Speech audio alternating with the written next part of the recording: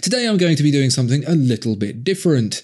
Watches tend to be made in Switzerland, and I think Switzerland is a little bit weird, so I've put together a little film to explain why. I hope you enjoy.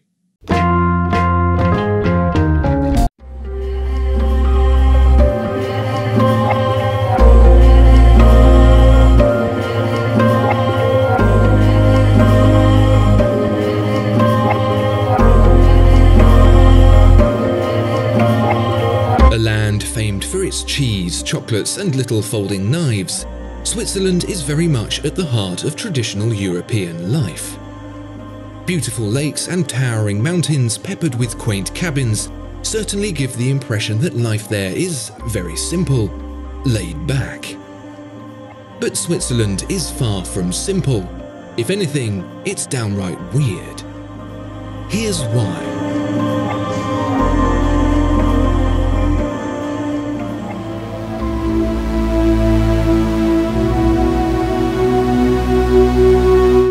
There's one thing the Swiss are known for doing better than anyone else, it's watchmaking. Keeping accurate time is the very foundation of modern science, without which an understanding of the universe would be impossible. How Switzerland came to be the epicenter of timekeeping, however, is not quite as expected. In 1541, French pastor and reformer John Calvin was invited to lead the church in the city of Geneva, where his draconian measures were adopted by government, giving him power to rule. His ecclesiastical ordinances listed such measures as the banning of dancing and jewellery, deemed luxuries unholy in the eyes of God. Even musical instruments were banned, including, at the very extreme, four-part vocal harmonies Calvin proclaiming these pleasures to be an expression of vanity. And so the jewellery makers of Switzerland were left in a bind. With no customers, their skills were wasted. But in England and France, a new industry was emerging watchmaking. And so the Swiss jewelers, already proficient at making small, fine objects, pivoted their trade into watchmaking and the rest, as they say, is history. Except it isn't, because still to this day, in some parts of Switzerland, dancing remains banned on Christian holidays.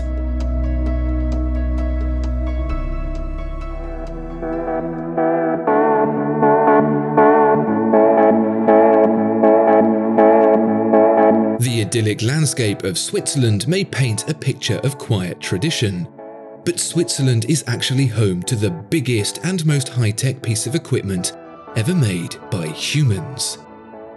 I say piece of equipment, what I mean is a network of tunnels 16 miles long. What's so great about 16 miles of tunnels? These ones are uncovering the secrets of the universe. Based at CERN, the European Organization for Nuclear Research, and the birthplace of the World Wide Web, the Large Hadron Collider, or LHC, is a particle accelerator buried 100 meters underground that fires hydrogen particles at each other at near light speed, just to see what happens. In order to do that, there's 9,600 magnets and enough wiring to reach the sun and back six times over that requires cooling to a temperature lower than outer space and just a few degrees away from the coldest temperature achievable, absolute zero. Meanwhile, other parts of the LHC reach peaks 100,000 times hotter than the center of the Sun. The proton beams created, each as fine as a needle, travel at 99.999999 991% the speed of light, with enough precision to be fired 16 miles apart and collide with each other dead on. The result? A step closer to understanding the fundamental building blocks of our universe, including the discovery of the Higgs boson, which won the 2013 Nobel Prize. That's 10 billion euros well spent.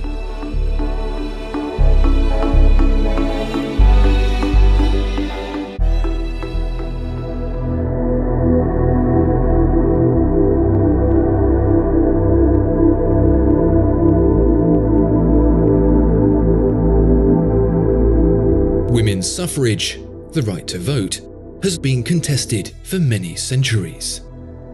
In 1776, property owning women were first allowed to vote in New Jersey, although that was repealed when the male vote was expanded to non property owners. Wyoming followed over half a century later in 1838, Utah in 1870, and a tiny island off the British coast, the Isle of Man, in 1881. New Zealand in 1893 was the first self governed country to allow women to vote, and from there followed Australia, Finland, Norway, and many other US states. By the 1940s, there weren't many places, certainly not in Europe and America, where women weren't permitted to vote. That is, except Switzerland. As the years rolled on, places like Israel, China, India, Iraq all committed to giving women the vote, but still not Switzerland. It wasn't until 1971, just 50 years ago, that Swiss women were allowed to vote. Except they weren't. Not all of them. Because Switzerland is a confederacy, a collection of states known as cantons operating in alliance with one another, central government cannot enforce the ruling everywhere. And so, in some Swiss cantons, women had to wait even longer. The longest, the canton of Appenzell-Innerrhoden, which only overturned the ruling in 1991.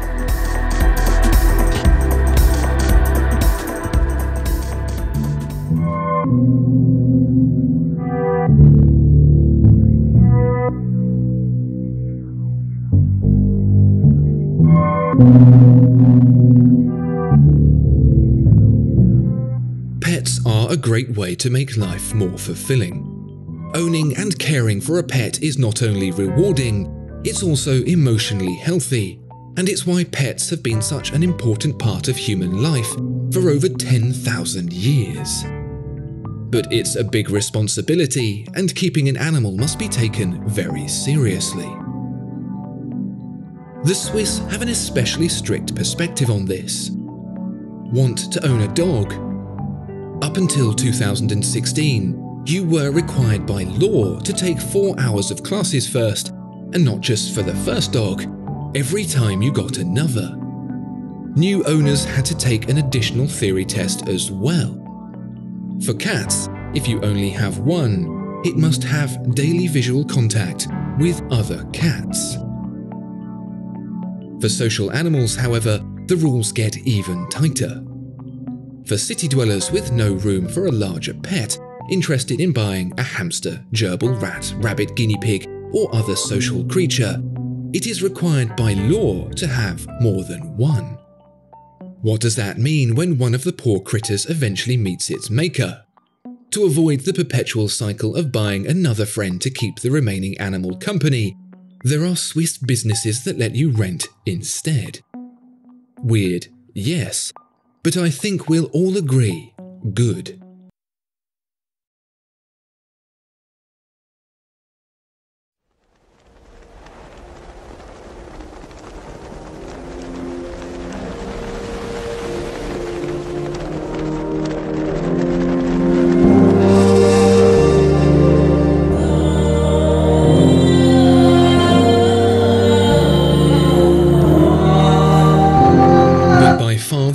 Thing about Switzerland is to be found in the very people themselves, their names. In fact, what's weird is just how ordinary their names are. Of course, if you have a child in Switzerland, you'll be wanting to name it, but not without the express permission of the authorities. And it's not just a case of submitting a name and waiting to get the rubber stamp of approval. Oh yes, there are rules. For instance, the name you choose must not harm the child's well-being or be offensive. Okay, so that's fair enough. Your kid wouldn't be too grateful if you called them Ben Dover. But it gets even stricter than that. You can't give a boy a girl's name and vice versa. Villains from the Bible, their names are banned too. Brands? They're off the list as well, even the brands that were already names. How about the beautiful name of the place your child was conceived, perhaps? Banned. Surnames as first names? Banned. Oh, and if the name you want isn't already on the approved list of names, that'll soon be banned too.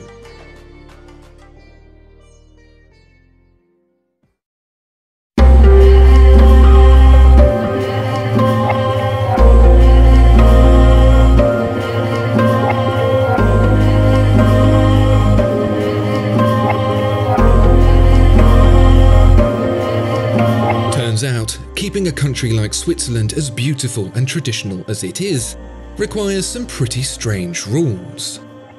Some make a bit of sense at least, others not so much. But Switzerland wouldn't be what it is today without them. And that's weird.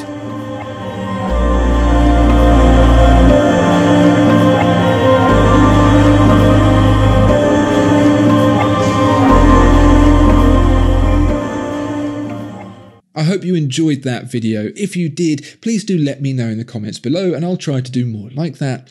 Please also like and subscribe to the channel. This is my personal channel, so it's very much appreciated. If you want to see more of me talking about watches, head on over to the Watchfinder channel. And until next time, thank you very much and goodbye.